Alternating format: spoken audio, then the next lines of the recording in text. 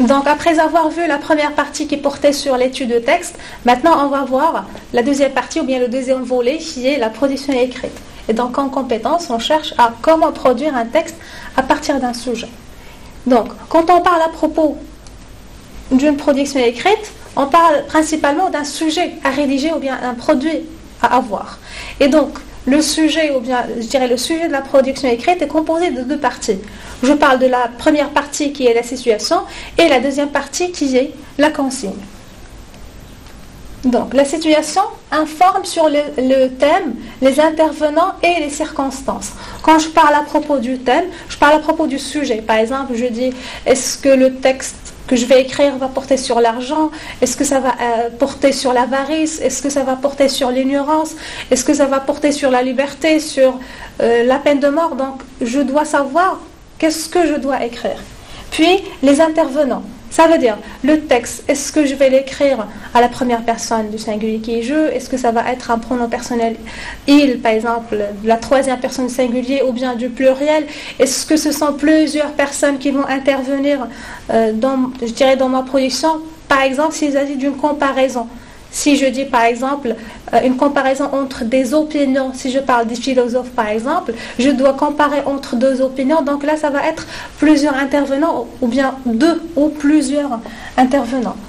Euh, quand je parle à propos des circonstances, je parle à propos euh, du temps et du lieu. C'est-à-dire, je parle à propos du cadre spatio-temporel, je parle aussi de l'action, des événements. Et si la circonstance change, la production écrite aussi change ou bien le produit change. Je donne un exemple. Si je vais vous dire avant, je veux dire auparavant, si je viens vous dire vous allez confiner à la maison pendant trois mois, vous allez me dire non, c'est impossible. Pourquoi on va rester à la maison pour trois mois? Donc, bien sûr, la réaction, ça va être un non, ça va être un refus. Pourquoi? Parce que la circonstance était normale. On n'avait pas de maladie. Mais aujourd'hui, si je vais vous dire vous allez confiner pendant trois mois, bien sûr, ça va être un refus, mais ça ne va pas être catégorique. C'est-à-dire, vous allez, euh, euh, d'une manière ou d'une autre, vous allez accepter, ou bien vous êtes obligé d'accepter. Pourquoi? Parce que la circonstance, par exemple, d'aujourd'hui, avec cette maladie de coronavirus, ou bien avec ce virus, donc là, euh, on est obligé de confiner. Donc c'est pour ça que je dis, si la circonstance change, la production écrite aussi change. Donc, je parle aussi de la consigne. Donc la consigne désigne ce que l'apprenant est censé réaliser. Et donc quand je dis la consigne, c'est une instruction, c'est-à-dire ce qui est demandé, ou bien ce, euh, que l'enfant, ou bien pardon, l'élève est obligé de faire. Et donc, type de texte, genre d'écrit, la position à prendre vis-à-vis du thème abordé ou vis-à-vis de soi-même, les critères de production, l'effet de langue et du discours à employer. Donc quand je parle à propos du type de texte, ça peut être un texte argumentatif, ou bien un texte narratif, ou bien descriptif, ou bien adjonctif. Donc je dois savoir le type de texte pour pouvoir rédiger ce qui est demandé. Puis le genre d'écrit. Donc, genre d'écrit, est-ce qu'il s'agit d'une lettre?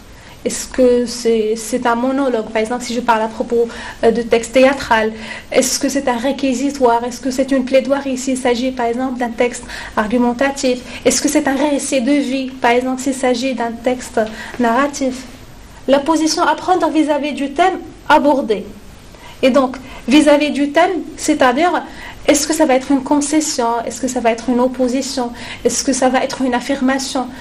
Quand je parle à propos, par exemple, de la concession, c'est-à-dire j'accepte dans un premier lieu euh, la thèse des autres et puis j'arrive à la refuter par la suite pour donner ma propre opinion. Ou bien la position à prendre par rapport à soi-même, c'est-à-dire soit je vais écrire ou bien je vais produire le sujet, soit je vais être objectif ou bien je vais être subjectif. Si je suis objectif, c'est-à-dire je dois être neutre, tout le texte, je ne dois pas euh, faire intervenir mes réactions, mes sentiments, je dirais mes opinions, ainsi de suite. Mais si je suis subjectif, bien sûr, là, je suis euh, obligé de dire et de donner, euh, je dirais, mes pensées, mes réflexions, mes, mes réactions vis-à-vis de ce que je suis en train de dire ou bien de ce que je suis en train d'écrire. Les critères de production, l'effet de langue et du discours à employer. Par exemple, les critères de production, par exemple, on te, dit, euh, tu, euh, tu rédiges un texte argumentatif, d'accord? En respectant, par exemple, ou bien en employant trois arguments. par exemple. Donc là, c'est un critère de production. C'est-à-dire, on t'arrive à te dire, à te préciser qu'est-ce que tu dois écrire et qu'est-ce que tu dois faire. Pour l'effet de langue et du discours.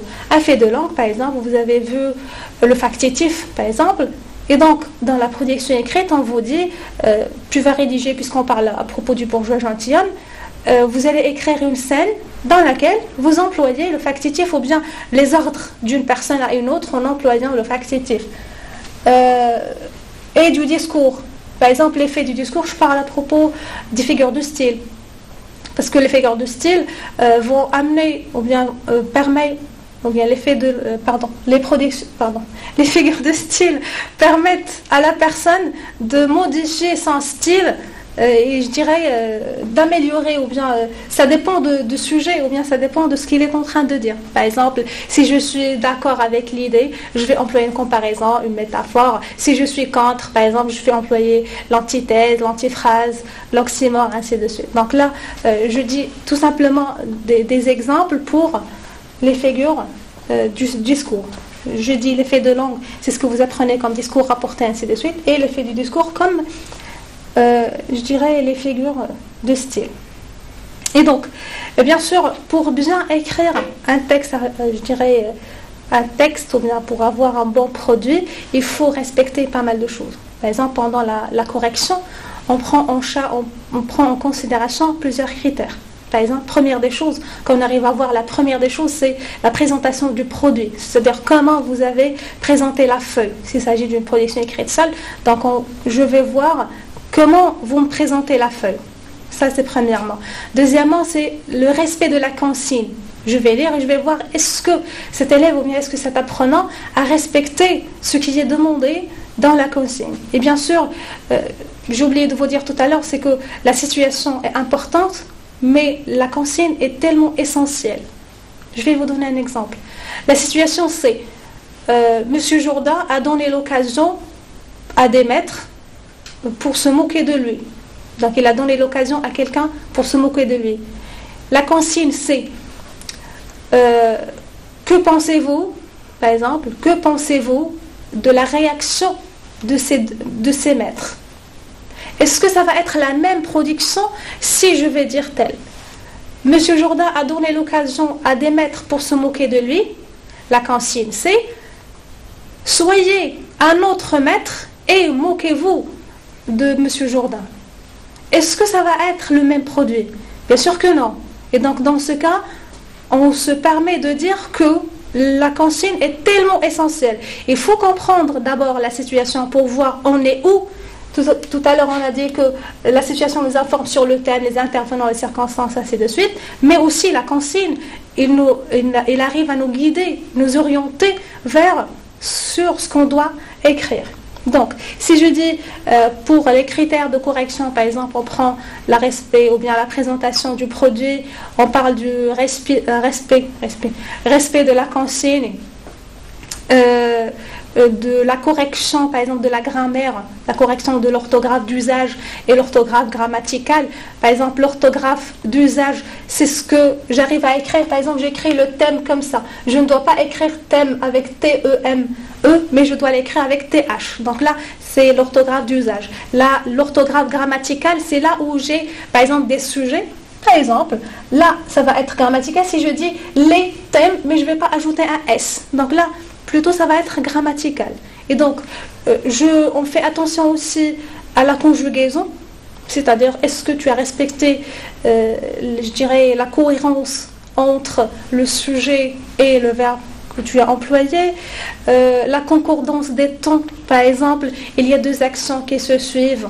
L'une est passée après l'autre. Je parle, par exemple, dans le passé, normalement, je dois utiliser le plus que parfait et par la suite, je dois utiliser, par exemple, l'imparfait.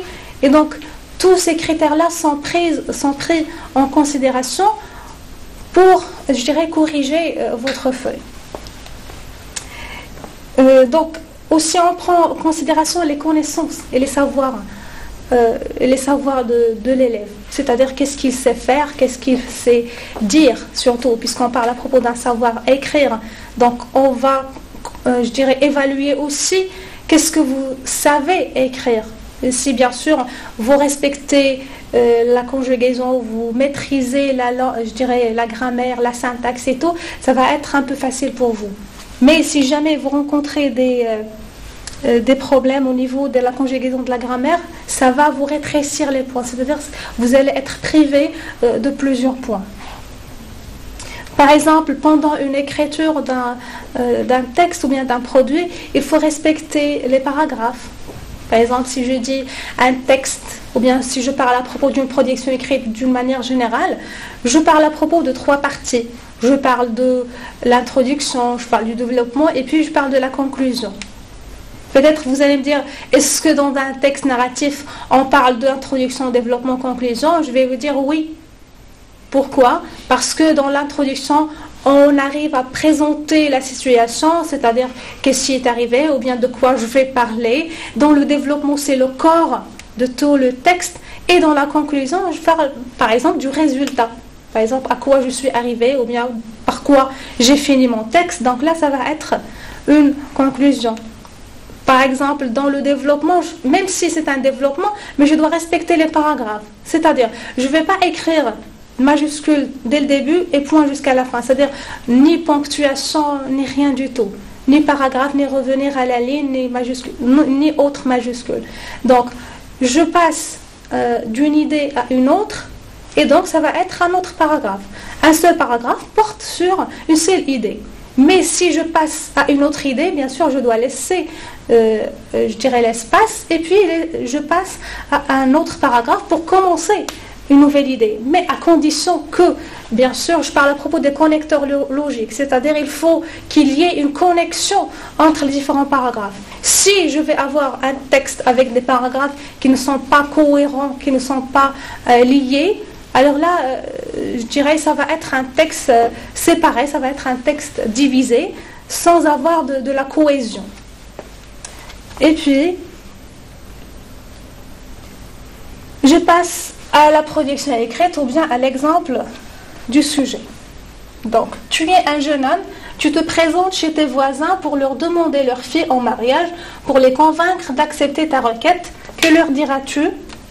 Rédige une tirade où tu t'adresses à tes futurs beaux-parents et où tu, et où tu exposes tes qualités. Donc pour parler euh, du sujet d'une manière générale, on sait euh, partie du texte qui est le bourgeois gentilhomme, ça ne sort pas de ce cadre, parce que Cléante s'est présentée à M. Jourdain pour demander euh, la, main de sa fille, et M. Jourdain a refusé. Donc on a pris euh, la même idée, et là, maintenant ce n'est pas Cléante, mais c'est vous, c'est-à-dire c'est toi. Maintenant, tu vas être un prétendant, c'est-à-dire une personne qui va demander la main d'une fille, et là, et donc euh, pour les convaincre d'accepter ta requête, leur diras-tu? C'est-à-dire tu vas essayer le maximum euh, à ce que les beaux-parents, bien ces personnes-là, vont accepter à ce qu'ils te donnent euh, la main de leur fille. Donc, comme j'ai dit tout à l'heure, le sujet est composé de deux parties. Donc, la situation et la consigne. Donc, tu es un jeune homme, tu te présentes chez tes voisins pour leur demander leur fille en mariage, pour les convaincre d'accepter ta requête, que leur diras-tu Donc là, c'est euh, la présentation du sujet. Donc, le thème, c'est quoi? C'est le mariage, d'accord? Les intervenants, c'est toi, puisque c'est toi qui va parler, c'est toi qui va demander, euh, je dirais, euh, qui va demander la requête ou bien qui va demander la chose. Et puis, les, pardon, les circonstances, par exemple, c'est que euh, tu vas chez eux, c'est-à-dire le lieu, c'est la maison de tes voisins, et puis tu vas demander euh, leur accord. Et puis la consigne, c'est rédiger ou bien rédige une tirade où tu t'adresses à tes futurs beaux-parents et où tu exposes tes qualités. Donc tu vas écrire une tirade. Donc là, on parle à propos des critères de production. Tu ne vas pas rédiger un texte argumentatif, ce n'est pas un texte narratif, ce n'est pas descriptif, ce n'est pas injonctif. C'est c'est bien sûr ça fait partie euh, du genre théâtral et donc tu dois rédiger une tirade. Donc bien sûr, si je vais faire un petit rappel à, la tirade, c'est quoi? C'est une longue réplique. Donc bien sûr, le but de la, de la tirade, c'est d'informer ou bien de convaincre ou bien de persuader. Et donc, bien sûr, là, tu es, euh, tu es censé convaincre les futurs beaux-parents pour qu'ils acceptent ta requête. Donc, étape à suivre. Bien sûr, pour pouvoir écrire un sujet, mais avant d'écrire un sujet ou bien écrire un produit, je dois d'abord lire le sujet. Donc, je dois lire le sujet, au moins je dois lire ça trois fois. Pourquoi? Parce que, par exemple, la première fois, je ne vais pas comprendre du tout, la deuxième fois, je vais comprendre quelques mots, la troisième fois, je vais comprendre les autres mots, et donc, euh, par la suite, je vais comprendre le demander euh, une fois pour toutes.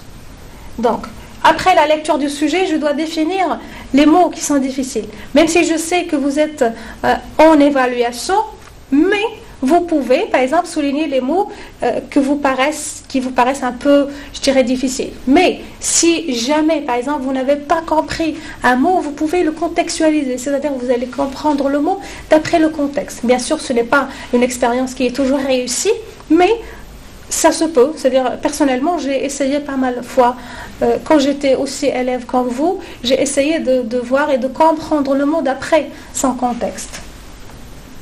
Donc, on parle à propos d'une requête, tout simplement c'est une demande.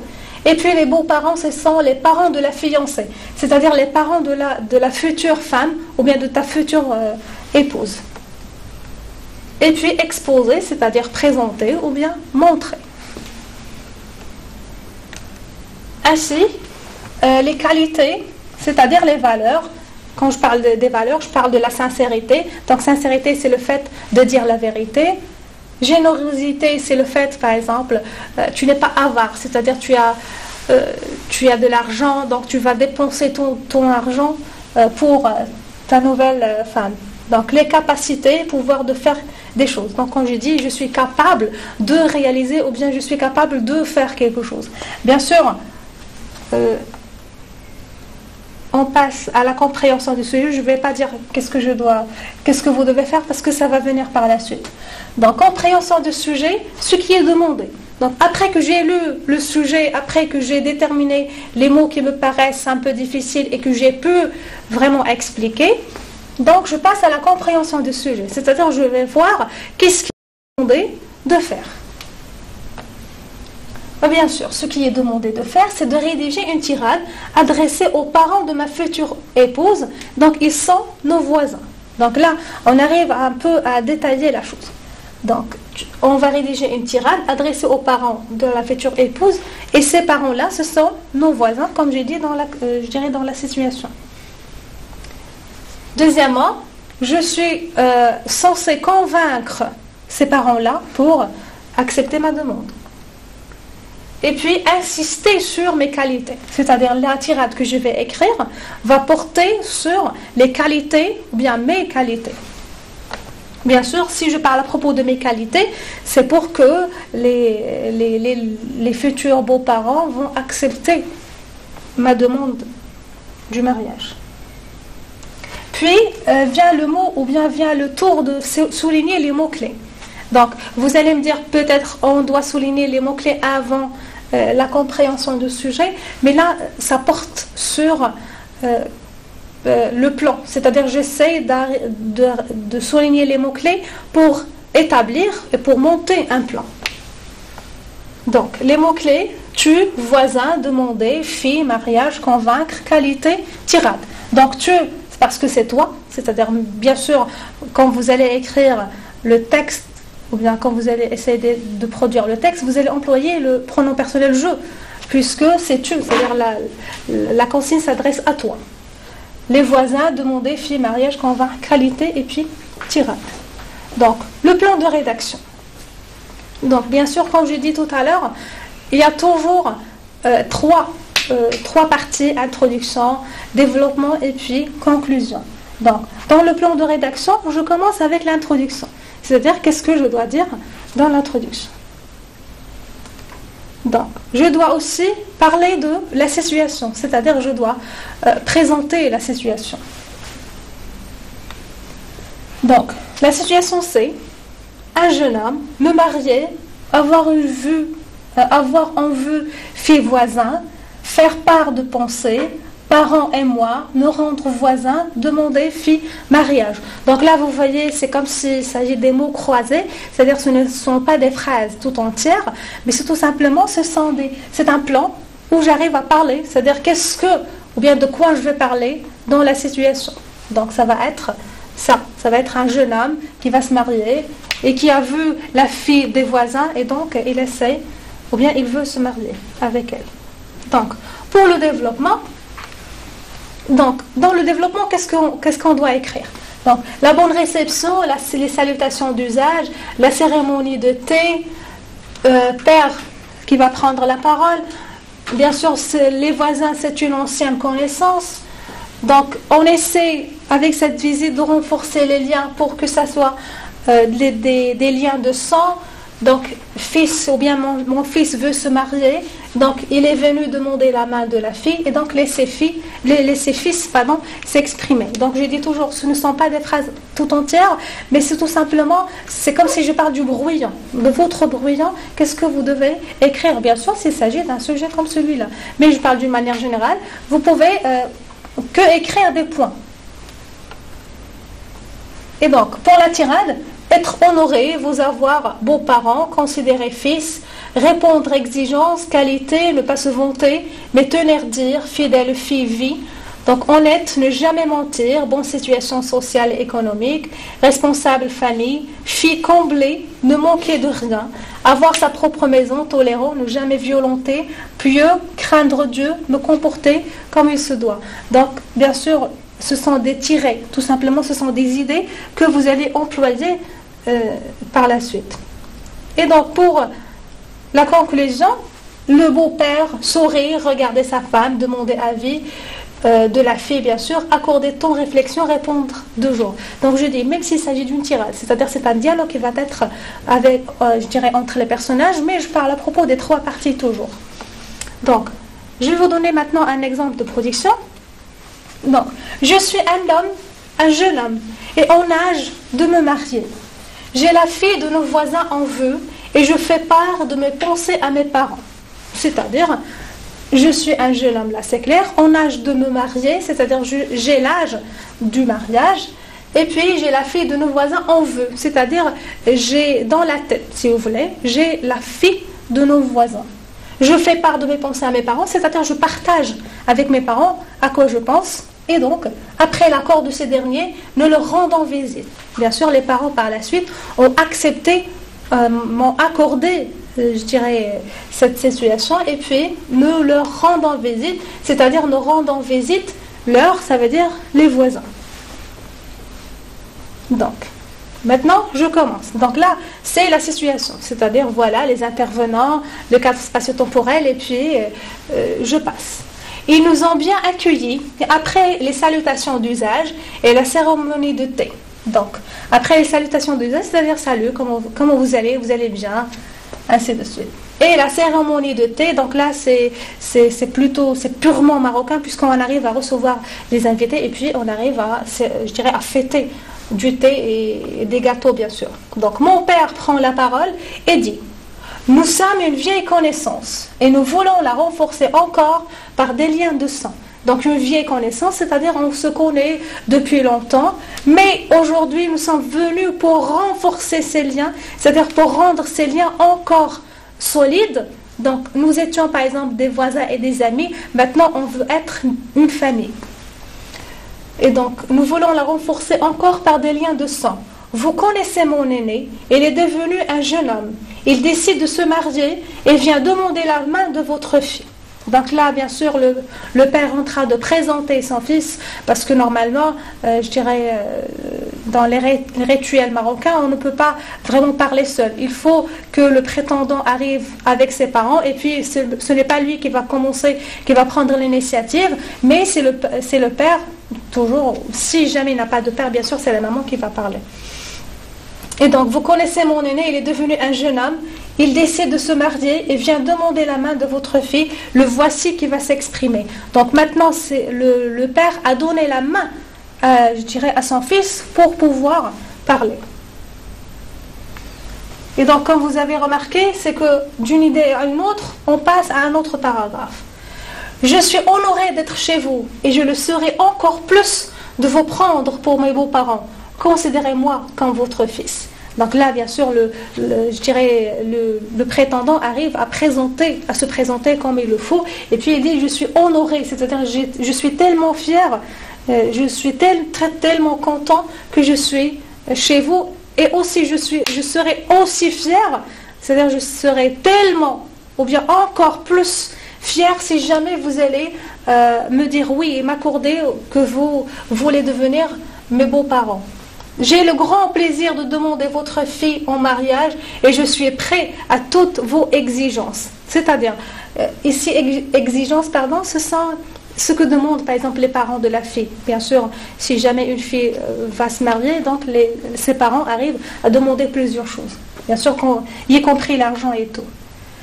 Je ne me vante pas, mais je tiens à vous dire que je suis un honnête homme qui ne mentira jamais ni à vous ni à votre fille. Je ne me vante pas, c'est-à-dire je ne suis pas ici pour vous montrer qui je suis, c'est-à-dire je ne suis pas en train de se vanter, mais là je suis de me vanter, pardon, mais là je suis en train seulement de vous expliquer qui je suis.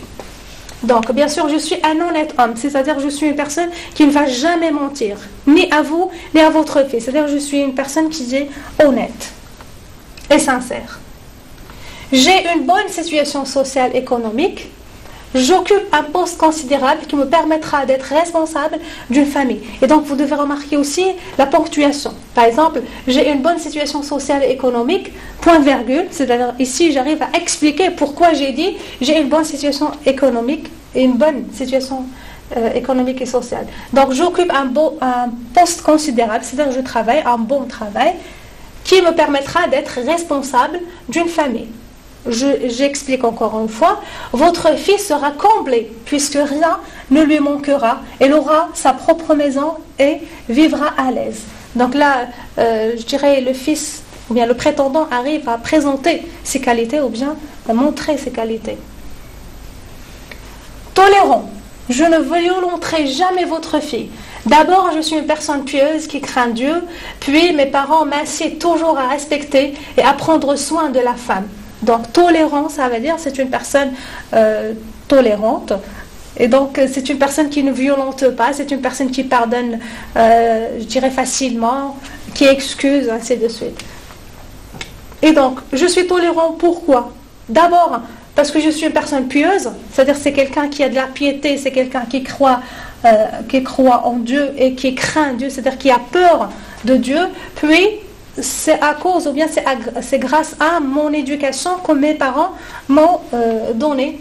C'est que ils, m'incitent toujours à respecter et à prendre soin de la femme. Je vous assure que je me comporterai comme il se doit, le Tout-Puissant, mes témoins. C'est-à-dire, je vous jure que je vais prendre soin de votre fille et soyez sûr que je dis toujours la vérité et le Dieu, ou bien et Dieu est témoin. Mon futur beau-père, souriant, regarde sa femme et répond Nous ne te connaissons que fort bien, mais nous devons demander l'avis de notre fille. Veuillez nous accorder un temps de réflexion et nous vous répondrons dans deux jours. Donc là, il s'agit de la conclusion. Et donc là, euh, le beau-père arrive à, bien sûr, il ne va pas vraiment accepter tout de suite, mais ils ont besoin du temps pour réfléchir. Et donc avec euh, cette conclusion, je vous dis merci pour votre attention et on se voit avec euh, une autre évaluation, une autre étude du texte. Merci.